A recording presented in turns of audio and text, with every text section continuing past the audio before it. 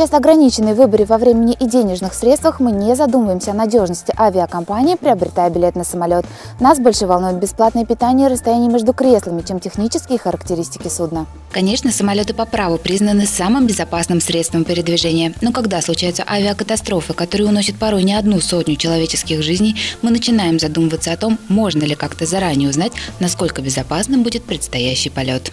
Если о регулярных рейсах мы говорим, мы всегда нашим туристам советуем брать билеты самых крупных авиакомпаний, э, так как там есть обязательно возможность замены борта, да, если вдруг что-то в техническом плане случается. Ну и, как правило, они более стабильные и надежные, да, а в чартерных рейсах, да, ну здесь уже как бы немножечко сложнее, потому что это просто выкупается рейс, и там уже какой борт поставят. Обычно на регулярных рейсах в билете, помимо названия аэропорта, номера рейса, времени вылета и прибытия, указывают и модель самолета. Узнать подробнее о воздушном судне можно на сайте авиакомпании. Правда, там вы сможете найти лишь общие характеристики, расположение и число посадочных мест, максимальную скорость и тип двигателя. А вот историю самолета, его возраст, количество летных часов и бывших владельцев придется искать на сторонних ресурсах. Впрочем, найти их в интернете не составит особого труда.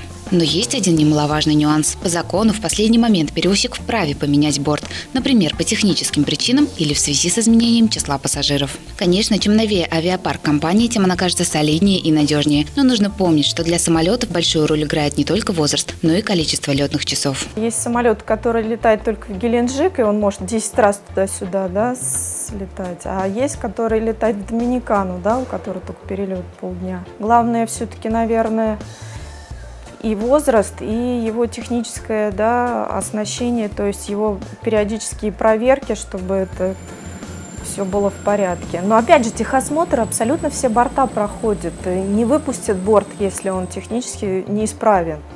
Это просто такого не может быть либо это уже халатность. Определиться с выбором авиаперевозчика помогут и отзывы в интернете. Если компания входит в рейтинги, которые составляют ведущие агентства по авиационной безопасности, ее название не мелькает в новостях в связи с невыплатой зарплаты работникам, задержки и отмены рейсов случаются редко и по объективным причинам, а число положительных оценок от пассажиров в разы превосходит негативные, то этой компании точно можно доверять. Но будьте готовы к тому, что билеты у больших и солидных авиаперевозчиков стоят соответственно. Как правило, при выборе еще некоторые ориентируются на цену и потом удивляются, почему был такой плохой борт да, у авиаперевозчика. Ну, дешево и хорошо, к сожалению, не бывает у нас. Да? Как бы, если вы хотите комфортно лететь и быть уверенными, то покупайте более, естественно, дорогие билеты и более в стабильных авиакомпаниях. И тогда никаких э, не будет накладок. Самолет – один из самых совершенных механизмов, созданных человеком. Точная и слаженная работа всех его приборов позволяет исправлять ситуации даже в самых непредвиденных обстоятельствах.